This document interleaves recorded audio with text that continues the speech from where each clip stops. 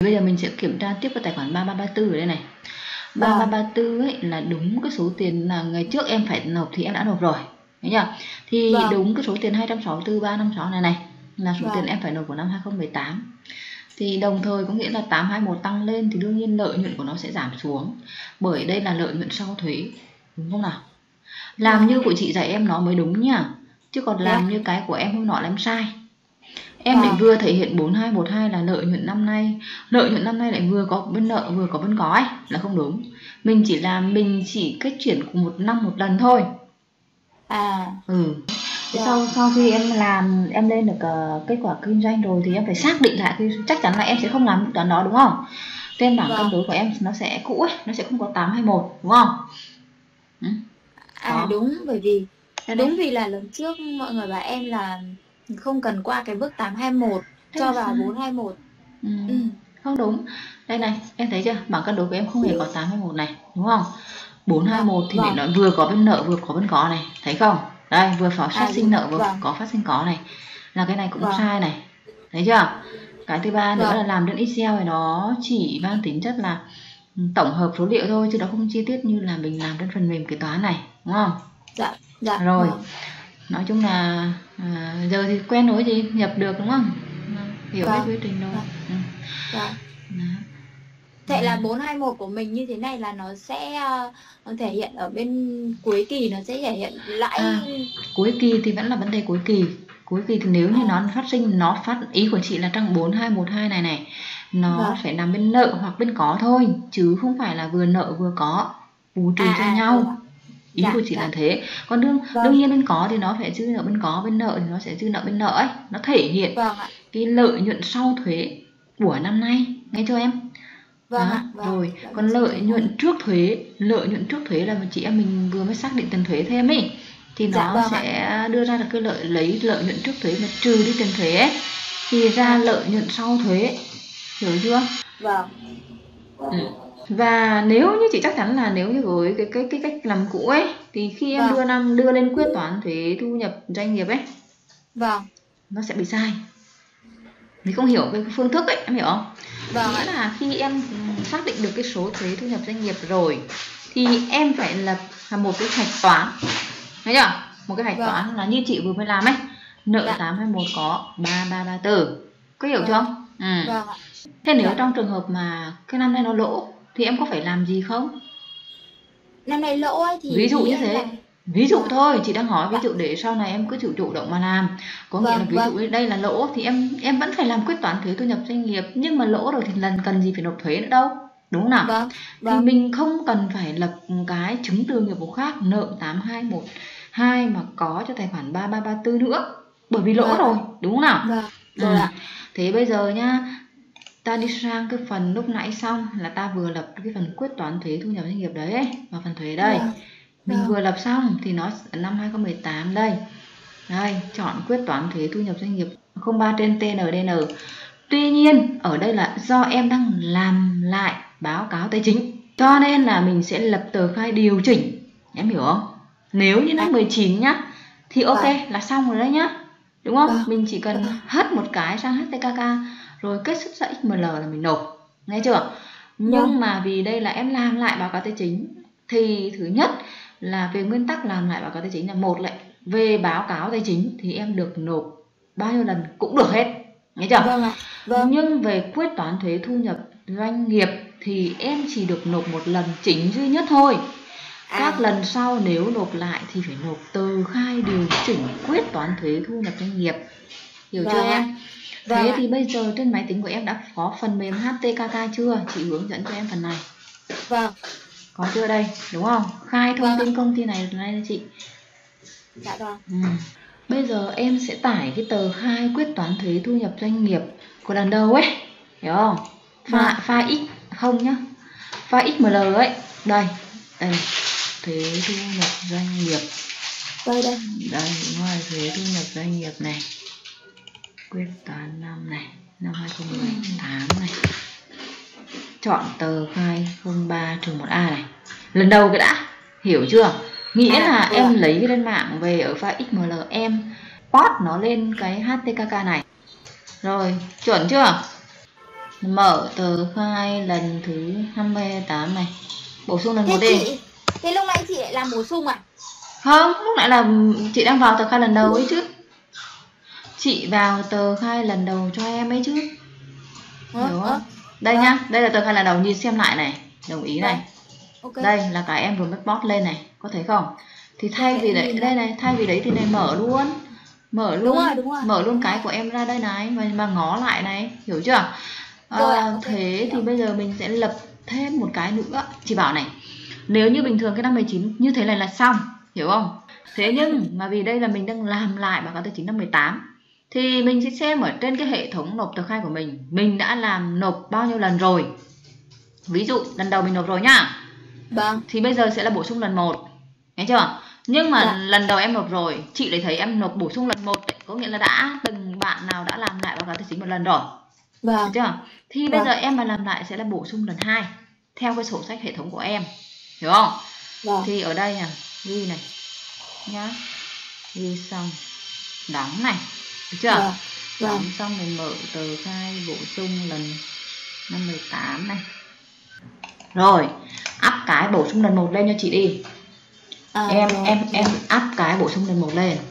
Vâng em hiểu rồi. Rồi ghi ghi tiếp nhá.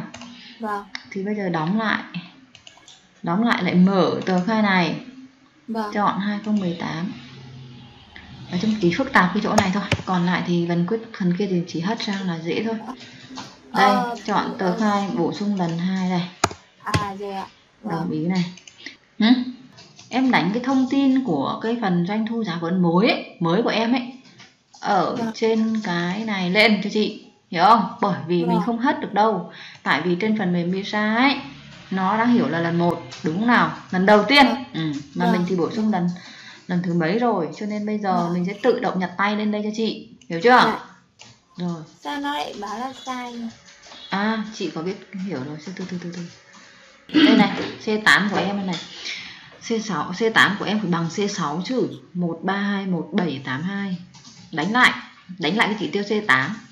Bởi vì cái C8 này là cái số này nó nó đang lưu cái cái số cũ của em. ừ, đây là em đánh đây là một ba một à Ừ, đương nhiên, hai đúng rồi. đây này Ừ, vâng đang ghi lại. Hiểu không? Ừ. ok ạ Còn cái Vâng. C8 này là C8 cũ. Đó, À. C8 này là gì? À, đại loại là C8 này là thu nhập tính thuế 20%. Dạ. Hiểu không? Thu nhập tính thuế Vâng. 20 1321. Xong rồi ra số thuế của em là 264, thấy chưa? Thì vâng bây giờ ghi tổng hợp lên KHBS đây. Thấy chưa? vâng Đây, phải bấm vào cái tự- tổng hợp lên KHBS ở đây này. Vâng? Rồi xong rồi Vâng. mình bấm ghi đây, nếu không nó không nhảy lên số liệu của mình đâu.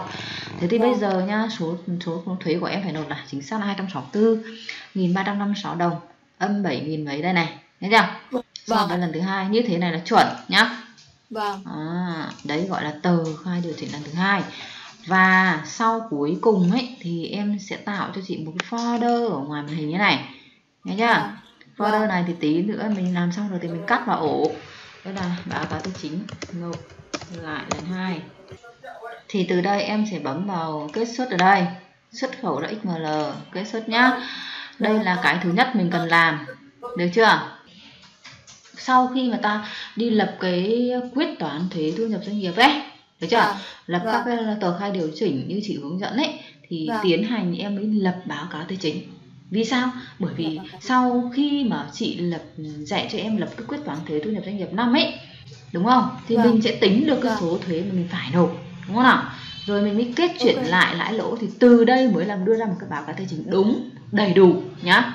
Chứ có bạn thì lại lên, lên rồi xong chả cần tính toán gì hết, cứ thế nộp, tức là nó sẽ không có cái mối quan hệ ấy giữa quyết toán thuế Vâng thu nhập doanh nghiệp so với báo cáo tài chính là không đúng nhá. Thì bây giờ mình đi vào phần báo Vâng. cáo này, mở cái phần báo cáo tài chính này ra. Em chọn cho chị cái mục mà 01 đây, B01 nhá. Em đang B01. làm theo thông tư 200 đúng không? vâng Ừ, thông tư 200 thì nó cũng chỉ có duy nhất là một một cái mẫu này thôi. Còn thông tư 133 nó có hai mẫu, một là B0 B01A và B01B ấy, nhá. Đó, thì cái này Vâng. chị em chọn là năm này. Chọn là mục chọn thêm này, em thấy không? Nói chung là em chọn tất cả đi, em chọn tất cả Vâng. đâu. Ờ. Nhưng em bỏ cho chị một phương pháp đó là phương pháp gián tiếp nhá. chị sẽ làm Vâng. lưu chuyển theo phương pháp trực tiếp thì dễ hiểu hơn vâng giám đốc vào đây vâng Vâng. vậy à, trước khi mà mình à, hất sang tờ khai HTKK ấy thì Vâng. em lưu ý này thứ nhất cần phải thiết lập thông tin thông tin thông tin cơ quan thuế cơ quan thuế vâng. lên MISA ra ừ, bằng cách là vào nghiệp vụ visa Ừ. vào nghiệp vụ rồi thuế thuế chọn đến thiết lập thông tin cơ quan thuế đại lý thuế đơn vị cung cấp dịch vụ kế toán. Ừ. vâng. Tức là mình cũng thiết lập giống y chang như lần đầu tiên mình làm ở trên HTKK ấy.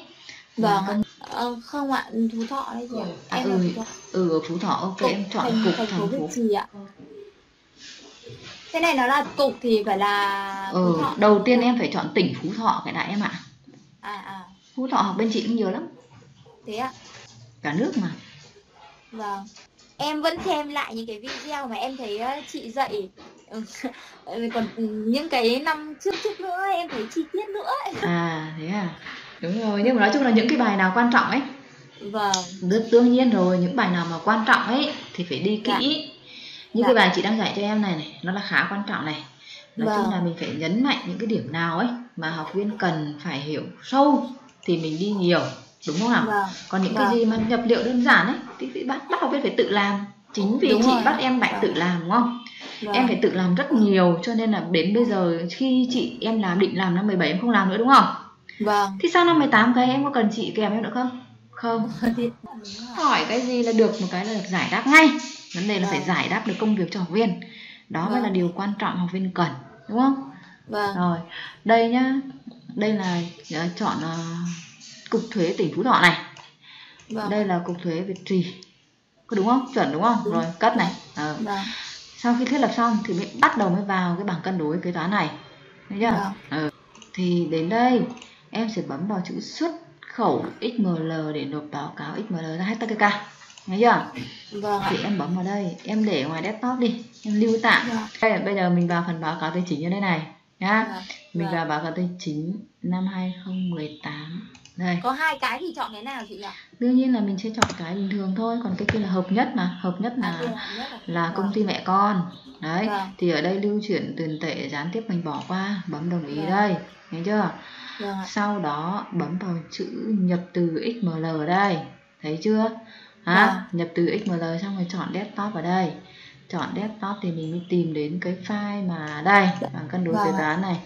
Thấy chưa? Mình đang lưu Vâng. tạm tức là mình sẽ đè lên cái dữ liệu cũ đúng không Ờ. còn quyết toán thuế thu nhập doanh nghiệp thì không được đè lên mà phải làm bổ sung để phân biệt hai vấn đề đó của việc lập lại báo cáo tài chính nhá nhất trí ạ. À ok rồi đây Thế thì như này Vì cái thông tin ở trên visa này em tạo mới là mùng 1 tháng 1 2018 Cho nên là với kết với bảng cân đối kế toán thì ok Em hiểu không? Bởi vì Vâng. bảng cân đối kế toán thì nó chỉ có đầu 1 cho đến đầu 4 thôi Đúng không? Vâng. Nhưng Vâng. phần kết quả kinh doanh ấy thì nó nếu như cái năm 19 em làm thì nó sẽ từ nhảy năm 18 cho em là năm trước, năm 19 đầy đủ. Nhưng vì đây là cái dữ liệu em lập mới, nghe chưa? Từ năm Vâng. 18 cho nên nó không hiểu kết quả kinh doanh của năm 17 là gì. Vậy em Vâng, phải đúng mở vào cái tài chính cũ của năm 17 tự điền tay lên HTKK. Vâng. Đồng thời lưu chuyển tiền tệ cũng thế, làm cho nó hoàn chỉnh xong xuôi ấy. Ghi nó lại, đây là đang thiếu nhá. Hiểu chưa? Vâng ạ. À, thì bây giờ bắt đầu mình cứ xuất khẩu ra nó ra XML để mình nộp. À, và đây là cách nhập. Nói chung là cũng đơn giản thôi chẳng qua là nó chỉ lưu ý một chút xíu ở trong cái phần MESA ấy là phải Vâng. thiết lập hệ thống cơ quan thuế ấy. Vâng. ừ, như chị dạy ấy cho em ấy. Còn lại thì nó cũng là một cái file XML thôi. Nó ăn theo mã số thuế em hiểu chưa? Nó ăn theo mã số À, thuế à, doanh nghiệp. ạ. Do ngay từ Vâng. đầu á nha mình học mình phải hiểu bản chất của nó ngay từ đầu này vào cơ cấu tổ Vâng. chức cái này thấy chưa Vâng. đây này có mã số thuế đây này thấy chưa cho nên à, bên chị ừ, khi mà dạy cho học viên Vâng. thì bản thân mình sẽ phải đến cái vấn đề gì chị đều phải chỉ nguyên nhân cho em đúng không Vâng. Vâng. đây mã số thuế này thấy chưa Vâng. nó nghĩa là phải Vâng ạ. mã chỉ cần nó ăn theo mã số thuế chứ nó không ăn theo tên công ty thế nên là mình À. áp sang một cái thì trên HTKK của em ấy nhá là À. công ty của em được chưa? À, và trên rồi ạ. visa cũng là công là mã số thuế của công ty em. Mặc dù cái phần mềm này là phần mềm khác. Đó hiểu không? Bản À, quyền là bản quyền quyền khác không quan trọng. Hay thế. Vâng. hay chứ sao lại không hay? Học là học những cái đấy chứ còn bảo là Học ừ. đang thấy hay. À, học được nhiều thứ đúng không? Phải nói chung là em sẽ nhàn hơn rồi ừ, chắc chắn là năm nay em sẽ nhàn hơn rồi chắc chắn luôn bởi vì cái năm 2020 mà nói chung về tương lai em làm kế toán em sẽ nhàn hơn và chỉ nói thật luôn là à, các cái lĩnh vực tương tự ấy như là dạ. dịch vụ đúng không đấy vâng. hay là săn lấp hay là các cái vấn đề khác ấy mà vâng. liên quan về dịch vụ thì em làm tương tự được rồi em không cần vâng. phải học chị nữa rồi đúng chưa vâng. không phải cần học vâng. liên hệ trung tâm nữa rồi mà tự vâng. mình làm được rồi đó vâng. rồi còn tiếp theo nhỉ chị nói tiếp nhá vâng. đến cái phần mà thuyết minh báo cáo tài chính ấy đương nhiên nó vâng. là một file đính kèm đúng không vâng. đúng nào thì mình vào đây chắc cái này là em chị cũng nói cho em biết luôn nhưng nó cũng dễ thôi cái thuyết minh thì nó vâng. dễ nhưng mình vẫn phải làm đầy đủ bài bản đó vâng. ừ. Đấy. thì đến đây thì file này là file Excel em ạ cho nên mình chỉ bấm vào xuất khẩu đây này chọn file vâng. Excel ở đây này chọn desktop này hiểu chưa vâng đó thì em chọn vào đây báo cáo tài chính lần hai đây nhá. Vâng vâng. Thì mình. Đây bây giờ cái công ty này không phải công ty em. Em để con vâng. chuột đây này nhá. Vâng. nếu mà để phía dưới này là không được nghe chưa? Mà để vâng. phía trên này này. Vâng. Ok, okay. bấm nào Ctrl C. Chị dạy cách đổi tên đấy Ctrl C. Vâng. à, Ctrl S ừ. bấm Ctrl F tìm kiếm đấy. F rồi. Thả vào đây là Ctrl V rồi sang phần này đánh cho chị là công ty uh, của em hoặc là công ty A đi. ờ, thôi tạm thời học cái đã tí nữa em sửa xong dạ. nhá ờ, dạ. bấm vào chị đây. Thấy nhá rồi ạ. À, đấy là nó clone một cái. Nó xong. Nó sẽ đổi hết toàn bộ luôn. Thấy chưa? Rồi. và sau này sổ, sổ sách của em thấy thôi. Thấy chưa? Em làm dịch vụ kế dạ. toán đấy. Thì em sẽ dạ. tận dụng một cái bản quyền thôi mà em sẽ làm cho các cái công ty mà em muốn làm ấy mà à, nó rồi. nó cửa không quá lớn ấy nó quá lớn thì công ty sẽ đầu tư phần mềm. Được vâng. chưa? Vâng ạ. Địa chỉ. Đó. à nó rất là nhanh. Hay không? Vâng nhanh. À, nhanh chứ. Đương nhiên là đổi là phải đổi hệ thống đồng loạt hiểu chưa? Vâng. Thực ra cái này là cái phái SEO thôi chứ không phải liên quan gì đến Misa. Thì chị hay vâng. làm như nào thì chị dạy học viên như vậy nhá. Ok ạ. Đấy, vâng. rồi ok xong. Xong cái phần là thuyết minh rồi bây giờ ta đi sang phần khác.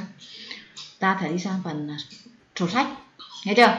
Vậy thì vâng. nhá cái phần là nếu như em gửi tờ khai là em sẽ gửi cái file lúc nãy báo cáo tài chính um, mà em sẽ thêm nhập cái 217 vào đúng không? Đúng. Phạt b gửi cái thuyết minh đấy nữa là xong đúng không? Gửi thuyết minh đính kèm. Nói chung là em nộp như là em nộp từng nộp tờ khai thôi. Cùng vâng, cùng với vâng. cái uh, tờ khai quyết toán thuế thu nhập doanh nghiệp mà điều chỉnh lần hai đấy. Vâng hiểu chưa vâng. Rồi ngoài cái việc kiểm tra xong thì về sau lưu phục hồi dữ liệu em nắm được không? Được chưa nhỉ? Em nắm được rồi ạ. Rồi ok. Vâng ạ vâng. Ừ. mà thực ra cần gì đâu? Có gì em ờ, cần không hiểu em toàn hỏi chị trực tiếp đấy còn gì. Có cái gì Đúng hơn rồi. cái trực tiếp nữa đâu. Đúng rồi ạ. Học kiểu gia sư thế này mà kèm thế này còn không làm được nữa thì, thì chịu. Mà bây giờ đang dịch bệnh như thế này mà đi học trực tiếp tại lớp thì mới sợ đúng không đúng rồi đấy. À, tóm lại là không tiếp xúc gì là tốt nhất. Thật đấy chứ. Đúng rồi đấy. Cứ online đấy. online luôn cho nó xong. Thế bây giờ tự nhiên em ừ. em đây em đi làm cũng một mình đấy. Ừ. nhiều bạn còn ôm hồ sơ về nhà học luôn. Còn bảo là sợ quá không đến công ty nữa ôm hồ sơ về nhà làm học với giáo viên qua online. Nói thật đúng. hạn chế được tí nào thì hay chỉ đấy. Vâng. Vâng. Nhá vâng. rồi. vâng. tiếp theo. Sau khi mà gì xong thì muốn in sổ sách nhá vâng. Thì em cần phải đánh lại số chứng từ. Đấy cho nó khoa học. Nghe chưa? Bằng vâng. cách này vào đâu? Cũng vào tiện ích luôn. Trong phần tiện ích này nó khá nhiều vấn đề. Bấm vào đánh lại số chứng từ đây này. Vâng ạ. Nghe chưa? Vâng. Ừ. thì ví dụ như em chọn là năm 2018 này. Năm nay này. Nhá vâng. ví dụ như ở đây là phiếu thu. Phiếu thu. Vâng. thì em sẽ bấm vào cái chữ tiền tố ở đây. Nhá. Vâng. Tiền vâng. tố thì chị hay làm theo quan điểm của chị nhá thì chị vâng. đánh 18 đây có nghĩa là đây là phiếu thu của năm 18 à, à, hiểu chưa ừ. Vâng. bởi vì nếu như em chạy một cái dữ liệu năm 18 19 20 mà em cứ vâng. đánh mà không có cái năm tiền tố phía trước ấy nó sẽ bị trùng nhau giữa các năm à, hiểu không N- vâng. nếu như giá trị bắt đầu là một và tổng ký tự là 5 hiểu không tổng ký giá trị bắt đầu luôn luôn là một đi chị hay làm như thế tổng vâng. ký tự là 5 là có nghĩa là tí này sau đó em bấm dữ liệu này bấm vào lấy dữ liệu. Thấy chưa? Rồi ạ. Rồi đánh lại số chứng từ. À rồi em có nghĩa này 26 nó chạy 18 chạy số 2 chạy số 3 vô lý không? Vâng. nhưng nó sẽ Vâng. là 18 phiếu thu 0 0 0 0 1 đây gọi là tổng độ dài ký tự là 5 có hiểu không? Vâng. Ừ. vâng đánh lại số chứng Vâng. từ nó nhìn có khoa học không? À, đúng ạ. Hay em ờ. mãi không hiểu là làm nào sửa. À, thì chị đã bảo rồi cứ học cứ theo định hướng của giáo viên là họ sẽ Vâng. có ý của họ hết đấy chứ không phải Vâng. tại còn nếu nói cái gì trong quá trình nhập liệu ấy mà có vấn đề ấy Vâng. thì người ta đã nhắc em Vâng. ngay nên là Vâng. không phải lo cái nên em kệ mà vì lần trước chị Ừ. cũng bảo em thế đúng rồi chính xác này cất này được chưa vâng rồi Vâng. thế sau đó thì em có bao nhiêu cái chứng từ ở trong năm thì thu để đến chi nhập Vâng. xuất ngân hàng được chưa thì vâng em sẽ đánh lại hết theo cái logic này chứng từ nghiệp vụ Vâng. khác phân bổ công cụ khấu hao tài sản được chưa? Rất là nhiều. Vâng. Thì Vâng. em làm xong là em đánh lại hết toàn bộ luôn được chưa? À rồi vâng hủy bỏ nhá cái đấy về nhà em Vâng. làm. Vâng. thế sau khi đánh lại số chứng từ xong thì cái nghiệp em vụ khác mình cũng ờ, để cái số tiền tố như chị bảo đấy đúng không? Tất cả đều thấy Vâng. hết nhá. Đều là Vâng. 10 đấy vì là em còn chả biết là in sổ sách gì như gì. Rồi. Em bảo chắc cuối cùng là xong rồi chị dạy hết. À, coi như đánh lại số chứng từ là hiểu rồi đúng không? Thì bây giờ Vâng. còn một vấn đề nữa. Đó là bây giờ sau khi đánh xong thì em sẽ phải kết xuất sổ sách đúng không? Thì Vâng bây giờ em phải vào phần tổng hợp ở đây này. Nhìn thấy chưa? Ừ. rồi ạ. Thì hãy quan tâm cho chị cái sổ chi tiết này vâng. Các tài khoản này. Mà muốn in sổ sách nó chuẩn này thì hãy vào cái bảng cân đối tài khoản này này. Nhá. Chọn kết xuất nó ra excel cái bắt đầu mới ngồi list list xem là mình có những tài khoản nào. Công ty mình có những tài khoản nào. Cần phải kết Vâng. xuất chứ không phải kết xuất tất làm gì cho mệt bởi vì có số liệu Vâng, mà vâng. kết xuất. Hiểu chưa? Vâng. À, cho nên vâng. thế ví dụ nhỉ tại sao lại đưa ra bảng cân đối tài khoản này tại vì mình sẽ phải xử lý một một một một hai này tức nghĩa là à có nghĩa là những cái tài khoản này là những cái tài khoản này tất cả trên cái hệ thống này có mặt thì mình sẽ kết xuất sổ chi tiết ra em hiểu không Vâng. chị ví Vâng. dụ này bản thân ví dụ 211 đi 211 nhá thì nó lại có Vâng. 211 này rồi 2111 này 2112 thì bản thân 211 nó là sổ cái em hiểu chưa còn Vâng. 21111 là sổ chi tiết hiểu không Vâng. hai cái sổ chi Vâng. tiết này nhưng mà chị không cần dài dòng chị in cả sổ cái và sổ chi tiết đâu đơn giản Vâng. chị chỉ tất cả chỉ vào đây luôn. Đấy là kinh nghiệm quyết toán của chị thôi. Thì chị nghĩ thế nào nó đơn giản nó nó nhẹ nhàng ấy thì mình làm. Vâng ừ. vì em vào đây nhá. Em Vâng. chọn năm nay. Đấy ví dụ này một một một nhá. Vâng kết xuất. Đồng ý bây giờ nhá mình bấm vào cái xuất khẩu dữ liệu thành công. Bạn có muốn mở tệp không? Đồng ý rồi đã đồng Vâng. ý mở tệp thì ờ, có phải là khi mà mình kết xuất ra sổ sách ấy, thì nó cứ nói chung là sổ chi tiết tài khoản chị sẽ đổi tên ở đây sẽ là 111 nhá. Vâng. 111. rồi sau đó chị lại tiếp tục vào đây cũng ở đây luôn 112 hiểu không? Vâng tương vâng. tự như thế nhưng mà chị lại đi đến một cái tài khoản mà nó còn vừa có chi tiết có tổng hợp ấy. Ví dụ như là chị lọc là 211 hai một ừ một đúng ok. Rồi 211 này. Bấm xuất khẩu này. Được chưa? Vâng vâng. Ừ. tiếng Anh của Vâng. em sẽ là move oh, copy ship đấy nhé vâng ạ. Ừ. Ờ, chọn đến ship nào? Chọn đến ship là sổ chi tiết các tài khoản này này. Em hiểu không? Vâng. Thực ra đây chỉ là 111 rồi bấm vào chữ create or copy này này nhá. Vâng. Ok. Vâng.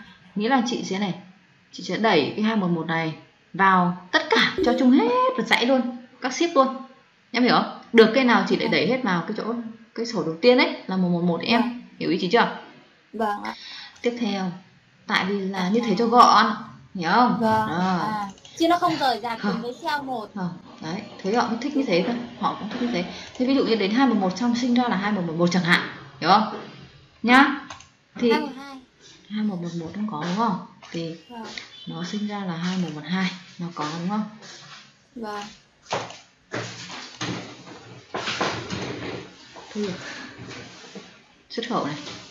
Được chưa? Ví dụ chỉ nói là Vâng. 2112 rồi đến 2113 đấy. Thì tóm lại Vâng. là cứ cứ như thế tương tự cho đến 911 vâng. Sửa Vâng. lại đây rename báo cả nha Rename. 2112 nhá. Vâng đổi tên vâng. xong rồi là lại phải chuột nhá. Đó. Google ship này này. Được chưa? Lại đưa đến cái chỗ sổ chi tiết các tài khoản này. Đây chính là 111 mà chị quên đổi tên đấy. Ok ạ. Rồi xong rồi bấm vào đây đó vậy thì em sẽ có một ship là 111 đến 2 112 chẳng qua chỉ bỏ 112 đi em hiểu không? Rồi 211 rồi đến 2112 rồi đến 2113 chẳng hạn. Thì nhìn như thế này cơ quan thuế sẽ hiểu à cái công ty này nó có 21 là sổ cái này thấy chưa? Vâng, còn cái này vâng. là chi tiết của nó chi tiết đây này. Thì người ta sẽ xem xem Vâng. lần lượt như thế này nó dễ hiểu không? Và khi quyết À, toán là họ à. sẽ yêu cầu em cái file Excel này em hiểu không? À thế thế vâng. thì ở đây nó sẽ không có tên công ty bởi vì sổ chi tiết mà tài khoản. Vâng. Còn nếu sổ cái thì nó lại là công ty mà em đang đính bản quyền thì em lại phải Vâng. đổi như chị dạy cho em đổi ở thuyết minh ý. Thấy chưa? Vâng còn đối với Ok. file này thì em giữ control nhá vâng. Giữ toàn đồng thời. Hết các cái file liên quan ấy. Cái này Vâng. ai mà dùng Excel nhiều ấy thì hay làm. Là Vâng. ví dụ như em muốn đồng thời tất cả các sổ đều nhảy theo một cái, cái khung có sẵn đấy em phải chuột insert này. Vâng. Đó ok. Nhá đấy insert đây thấy chưa? Xong Vâng. bắt đầu đánh này. Công ty A ở đây. Nhá. Địa chỉ Vâng. đây thì toàn bộ tất cả đều sao hết. Em hiểu không? Cho nên cho nên có bao nhiêu thì em thể ý như thế thì nó mới nhanh. Chứ không phải ngồi mà sửa từng vâng. cái một. Có hiểu không? Nhưng với điều kiện là cung khung cột của nó ấy, phải khớp nhau. Nhá. Điều kiện làm cái Vâng. này là khung cột tất cả mọi thứ là giống nhau hết. Như kiểu bằng lương chị Vâng. cũng hay xử lý này. Nhá đấy vâng. thì đấy là một cái, cái cách để mình làm cho nó nhanh ở ngoài Excel nhá. Vâng vâng rồi là xong nhá. Của chi tiết chỉ có thế thôi là xong nhá. Vâng. Ok sau đó này em cần phải in những cái báo cáo chi tiết ấy mà trong quá trình à, lên bảng cân đối số phát sinh ý chị vẫn hay dạy em Vâng. ấy. Đó là bao gồm này quỹ nhá. Kết xuất sổ quỹ Vâng. này ra ngân hàng kết xuất sổ quỹ ngân hàng ra được chưa? Bán hàng Vâng. thì kết xuất cái gì? Tổng hợp công nợ phải thu của khách hàng ấy vâng. Chị vẫn dạy em. Và chi tiết Vâng. ừ, công nợ ấy của khách hàng vâng. đưa ra. Vâng. rồi đến phần à, mua hàng. Thấy chưa? Cũng Vâng. là tổng hợp công nợ phải trả cho cung cấp và chi tiết công nợ phải trả cho cung cấp. Hiểu chưa? Ừ. rồi đến kho Vâng. nếu có được chưa? Đấy kho không thì có. ờ, in cái gì nhỉ? Kho thì công Kho một thì- năm ba. Tồn kho một năm ba của em ấy. Vâng. Đây. thì ờ, in tổng hợp tổng kho hợp không? kho nhá. Chọn năm nay. Tất cả đều phải chọn thời gian là năm nay Vâng. ví dụ như kho công cụ đi làm từng kho một đi nếu mà em có kho vật tư và kho công cụ ấy đấy thì chi tiết ở đây là 15 triệu 8 một 15 triệu 186 thì trùng với dư nợ của 153 đấy hiểu không đúng ạ thì cái này em Vâng. phải kết xuất nó ra để sau này thuế hỏi ô cái này là cái gì thì mình phải có cái, Vâng. trình bày hiểu chưa Vâng. có bao nhiêu kho thì kết xuất bấy nhiêu kho nhá thế đến, Vâng. đến phần công cụ dụng cụ thì chính là cái bảng tính phân bổ công cụ dụng cụ đấy nhá Vâng. còn cái sổ theo Vâng. dõi này cũng được này nó cũng là chi tiết này thì em kết xuất cả hai Vâng. cái này cho chị còn về Ok. phần tài sản cố định tất cả những cái này chị đã dạy em kỹ lắm rồi. Tóm lại là em Vâng. chỉ vào để kết xuất ra thôi để chi tiết thôi Vâng. nhá. Từ cái này nữa này giá thành. Giá thành thì cũng dạy em kỹ lắm rồi. Đó là em sẽ vào phần giá thành thì ờ, in cái gì ra chị? lãi lỗ theo công trình nhá. Lãi lỗ và chi phí sản xuất. Dòng thứ nhất là một dòng thứ ba là hai và dòng dòng lãi lỗ là ba. Được chưa? Ok. Ok nhá. Vâng. đấy là về Vâng. phần đấy tiếp tục. Vâng. một phần nữa đó là về in sổ sách ờ, ví dụ theo lô ấy nhá. Em xin phiếu thu phiếu chi ấy phiếu nhập phiếu xuất. Nghe chưa? Vâng. Thì em Vâng. vào quỹ đây này. Nhá. À, Vâng. đầu tiên phải để ngày toán năm 18 ví dụ năm nay. Chưa? Lọc cái thời gian này. Vâng. Lọc cái loại này. Thấy chưa? Phiếu thu này. Vâng. lấy dữ liệu lên. Hiểu chưa? Vâng em để con chuột vào một cái phiếu thu bất kỳ. Nhá. Vâng đầu năm Vâng. cũng được cho đầu năm đi. Đây. Vâng. Đấy click vào đây mà Đầu nhá năm đi mượn tiền mượn tiền thì đừng để ngày 1 tháng 1 hãy để ngày 2 tháng 1 đi. Ví dụ đấy chị nói thế thì đừng có để ngày Vâng. 1 tháng 1 đi mượn tiền. Hiểu không? Vâng. thì bấm vào Vâng. chữ in ở đây này. Nhớ chưa? Mình vâng. bấm vào chữ tùy chọn in này. À sau đó Vâng. sang phần in chứng từ chứ nhá. Đây Vâng, nó đang vâng. ẩn chứng từ này thì à, sang phần in chứng từ một nhỏ này. Vâng. Thứ nhất là phải có nếu nó không có cái số à, cái dòng xem trước khi in thì phải bấm vào cái dòng xem trước in này vâng. Và bấm vào in theo lô em hiểu chưa? Vâng. ờ xong rồi Vâng. bấm vào chữ thực hiện đây. Vâng. Đó. Thực hiện ở đây thì lại phải chọn lại thời gian một lần nữa. Năm nay. Vâng. Rồi Vâng. lấy dữ liệu lên. Hiểu chưa? Vâng. ừ chứ không Vâng. mà năm nay mà không chọn thời gian thì nó lại lấy không hết cho em. Không hết cho em đâu. Nghe chưa? Vâng. Lấy dữ Vâng. liệu lên thì em chọn tất cả này. Hiểu không? Thực Vâng. hiện này. Nếu như cái máy tính này nó có bản quyền rồi cứ thế bấm vào chữ in đây này. Kết nối Vâng. máy máy tính cho em cái in đồng loạt Vâng. ra cho em theo cái bảng à, A5 nhá. Vâng giấy A5 vâng. Và thấy là em kẹp chứng từ thôi. Còn trong trường hợp nếu em không bấm bản quyền thì em bấm xuất khẩu này. Được chưa? Rồi ạ. Đấy vâng sổ sách này nhá phiếu thu này. Vâng. đó. Vâng thế đến vâng. đây em cũng sẽ đổi tên giống như cái cách đầu tiên mà chị dạy cho em ấy ở phần thuyết minh. Chung ok. À căn chung S. Nhá. Vâng. rồi cái này không nói Vâng. lại nữa. Và bây giờ em thử Ok. nào. Thử làm phiếu chi nào. Thì cũng chả ảnh hưởng Ờ. gì bởi vì nó là cũng là chứng từ đầu tiên. Em hiểu không? Vâng vâng. Nói chung là thao tác là như thế này là đúng rồi. Thì về Vâng. tương tự nhỉ phiếu nhập này phiếu xuất này phiếu thu phiếu chi là em đều in theo lô nói tóm lại là tất cả đều in theo lô. Ví dụ như thế đang làm ở cái phân hệ nào thì liên quan đến phân hệ đó. Thu chi thì đương nhiên vào quỹ đúng không? Ngân hàng Vâng. thì đương nhiên là em vào phân hệ ngân hàng nhưng ngân hàng không cần bởi vì nó có phục vụ ngân hàng rồi không cần. À, nếu mà nhập xuất thì em vào kho hiểu chưa? Thì em cũng lọc năm thời gian ấy nhá em Vâng, cũng lọc phiếu vâng. thu à, phiếu nhập hay là phiếu xuất đấy. Em làm từng Vâng từng loại một. Thế thôi hiểu chưa? Vâng ừ vâng. thì nói tóm lại là ok. chốt tất toàn bộ các vấn đề là dạy rồi về tự làm nhá. Rồi ok Hết thế nhá. Bye em. Vâng vâng. Ờ, em cảm ờ, ơn chị bye em